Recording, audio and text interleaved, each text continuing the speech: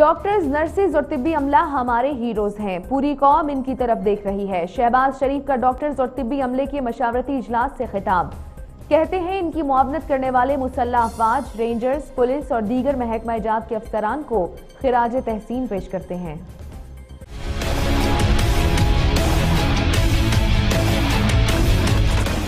शहबाज शरीफ ने video link पर doctors और तिबी अमले से मशावरती इजलास के दौरान खिताब करते हुए कहा कि आप सबका शुक्रिया अदा करता हूँ कि आप आज मेरे साथ इस मशावरत में शरीक हुए।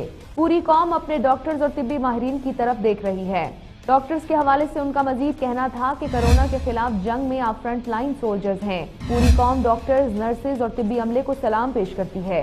डॉक्टर्स नर्सेज और तिब्बी अमला हमारे हीरोज हैं। इनकी मुआवनत करने वाले मुसल्ला अफवाज रेंजर्स और पुलिस और दीगर महकमा एजाज के अफसरान और अमले को खराज तहसीन पेश करते हैं। शहबाज शरीफ का मजीद कहना था कि पूरी दुनिया में डॉक्टर्स और तिब्बी माहरीन का किरदार इस वक्त मरकजी हैसियत इख्तियार कर चुका है। हमें सोचना है कि दुनिया में बेहतरीन हमत अमली कहाँ अपनाई जा रही है।